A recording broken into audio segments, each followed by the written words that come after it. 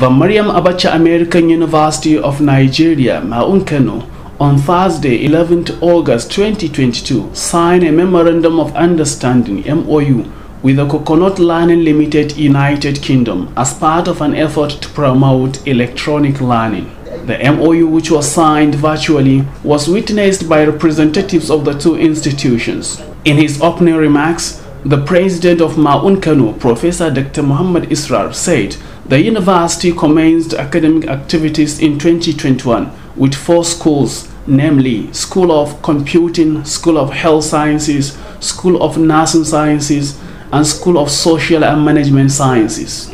According to him, the reason behind signing the MOU is to provide a world-class learning management system with mobile applications. He said the collaboration would also provide the opportunity of providing a modern learning approach to university education in the country. In his presentation at the occasion, the Executive Director, Coconut Learning Limited, Mr. Meet Kotadia said the idea of coconut learning was born out of some difficulties and challenges, saying that those challenges gave birth to coconut learning. Kotadia said coconut learning provides a software online to make learning easy.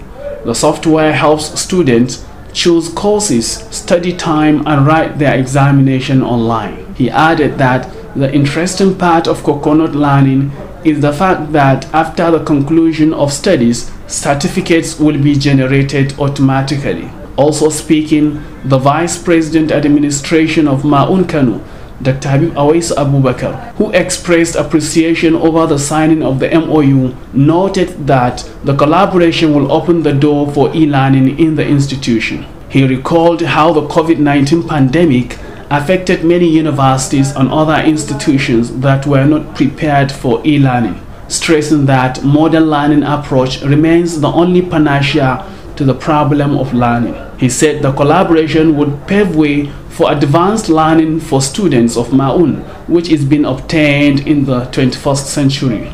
In his remarks, Dr. Bika Sharma lauded the founder and chairman governing council of MAAUN for his effort and commitments towards promoting education. In his vote of thanks, the head international office of MAAUN, engineer Bashir Muhammad Garba, expressed hope that the partnership would yield the desired result.